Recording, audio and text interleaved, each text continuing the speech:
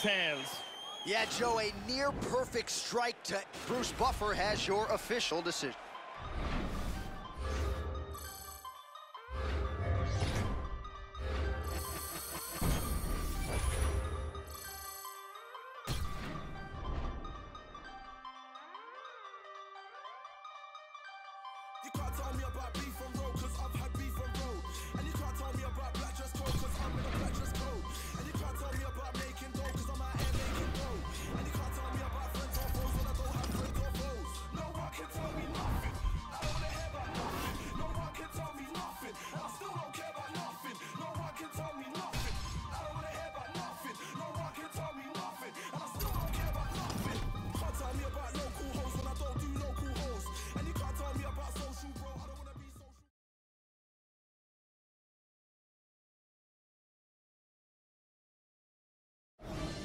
Coming up next for the UFC Middleweight Championship of the World between.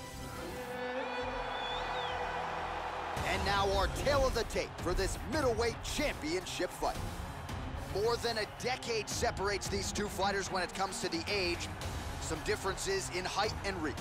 All right, now to get us started, here's Bruce Buffer.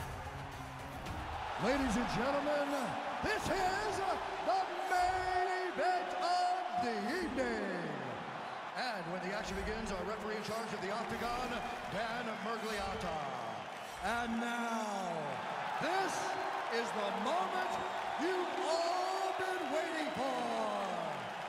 Live from the sold-out Toyota Center in Houston, Texas. It's time! Five rounds for the undisputed UFC Middleweight Championship of the World. Introducing first, fighting out of the blue corner, a judo fighter. He stands 5 feet 9 inches tall, weighing in at 170 pounds. Fighting out of Coconut Creek, Florida, presenting the reigning, defending, undisputed UFC middleweight champion of the world, Hector Lombard.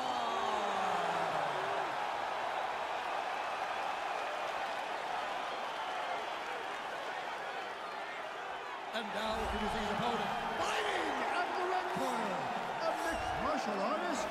He's at 6 feet 1 inch tall, weighing in at 185 pounds.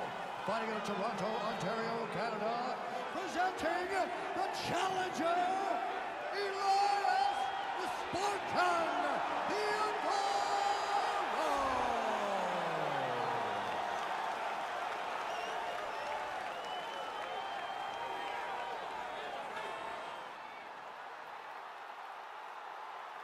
All right, this is for the UFC Championship. I want you to obey my commands at all times, protect yourself at all times. on a nice, clean, safe fight. Touch gloves, back your corners, come out fighting. This is a fight that we have been looking forward to for a long time and is about to take place right now. I'm very excited. All right, here we go. The wait is over. The UFC's 185-pound title is up for grabs right here, right now. Oh, big head kick there. Nice leg kick. Went for the head kick. Oh! Going to the head kick now, Joe. Theodorou gets caught with that punch. He'd be wise to get those hands up. Now mixing one into the body. And he's looking for that left. Theodorou's shot there is blocked. Oh, tags him again with a flush left hand. He's blocking almost all these shots. Hit him Oh, hard with that hook. We'll see if he can follow it up. Left hand lands flush over the top. Oh, what a leg kick. Oh, again. Really swung for the fences with that hook, but misses. Now goes in and secures the takedown.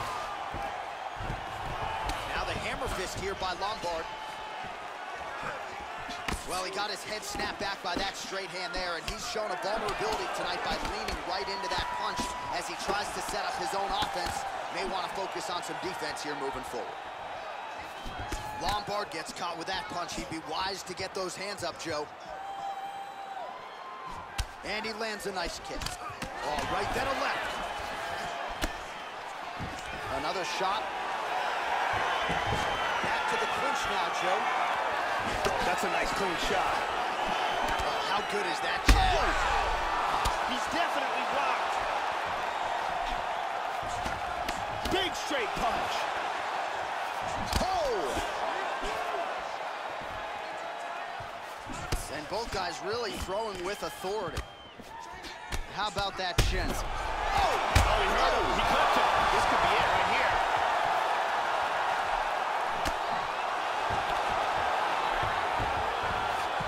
Nice takedown.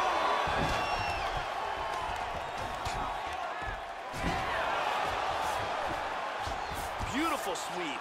Lombard gets caught with that punch. Gotta shore up the defense here. Oh, he continues to attack that bloody cheek. His face is a mess. He's out. He's out. Do you believe it? To do that to such a durable guy and to do it with such composure, the way he recognized he had him hurt, relaxed, kept his rhythm, and just dropped bombs, and then boom.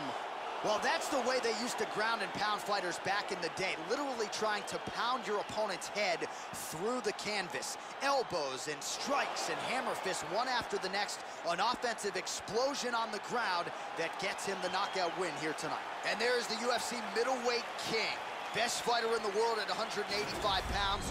What a knockout he turned in here tonight. Ladies and gentlemen, referee Dan Miragliotta has called a stop to this contest at 4 minutes, 24 seconds of the very first round. Declaring the winner by knockout and